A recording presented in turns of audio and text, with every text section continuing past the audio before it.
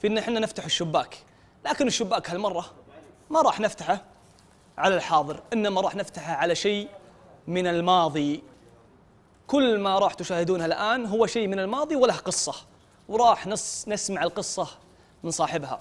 خلينا نشوف حكاية الصورة الأولى مع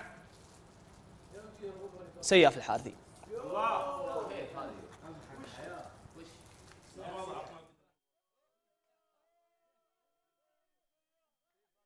طيب خلونا نسمع خلونا نسمع تعليق سياف على الصورة هذه والصورة موجودة معنا الآن.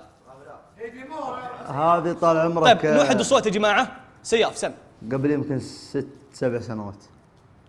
وش تذكر في اللحظة ذيك؟ محافظة بني عمرو. صورة جمعتني أنا وأخوي مرعي الحارثي سلطان أبو عبد الله الحارثي. ونعم ونعم. يستاهل. وسلامة. طيب وش تمثل لك الصورة ذي؟